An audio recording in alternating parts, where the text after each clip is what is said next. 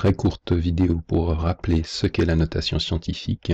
Lorsque l'on prend un nombre comme 5200 par exemple, on peut également l'écrire comme 5,2 fois 10 puissance. Alors, je vais placer ma virgule en ne gardant qu'un seul chiffre ici à gauche de la virgule, chiffre entre 1 et 9. J'ai donc je dois donc déplacer ma virgule de 1, 2, 3.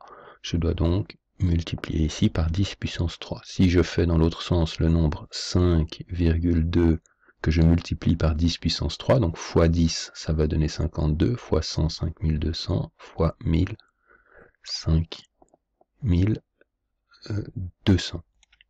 Autre exemple, si je regarde le nombre 928 200 ainsi, je peux à nouveau décider de ne garder que le premier chiffre, je vais donc avoir 9,282.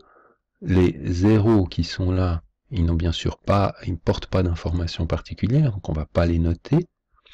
Et on va se poser la question, quelle est la puissance de 10 qui permet d'effectuer cette transformation d'écriture? Pour passer ici donc il n'y avait pas de virgule au départ, hein.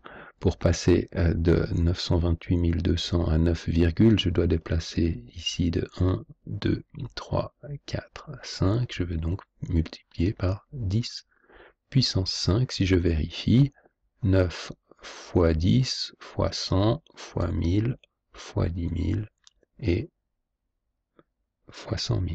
Mais je peux également considérer des nombres qui sont très petits. 0,0028, mais je vais faire exactement la même chose. Je vais aller attraper uniquement le 2, donc 1, 2, 3.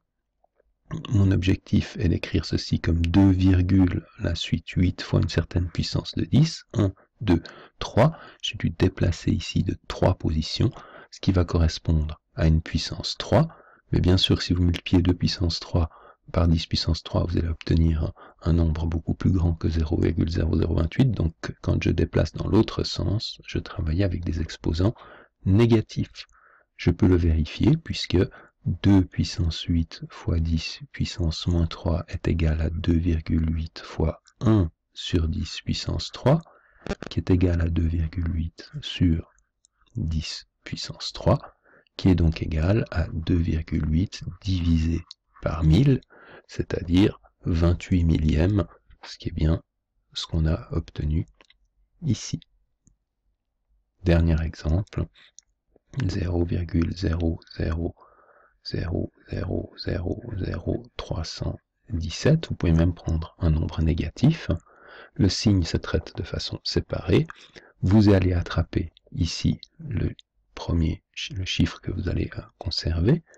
3, les suivants, et vous vous posez la question de combien est-ce que je dois bouger? 1, 2, 3, 4, 5, 6, 7, et j'obtiens un nombre, bien sûr, oups, pardon, j'ai oublié la puissance de 10, fois la bonne puissance de 10, qui est donc la puissance moins 7, puisqu'on rend ce nombre moins 3,17 beaucoup plus petit. Ici 5,2 est rendu plus grand par une puissance positive, 9,285 est rendu plus grand par une puissance positive, 2,8 est rendu plus petit par une puissance négative, puisque la puissance négative revient à diviser, moins 3,7 est rendu plus petit par la puissance négative. Voilà donc pour la notation scientifique.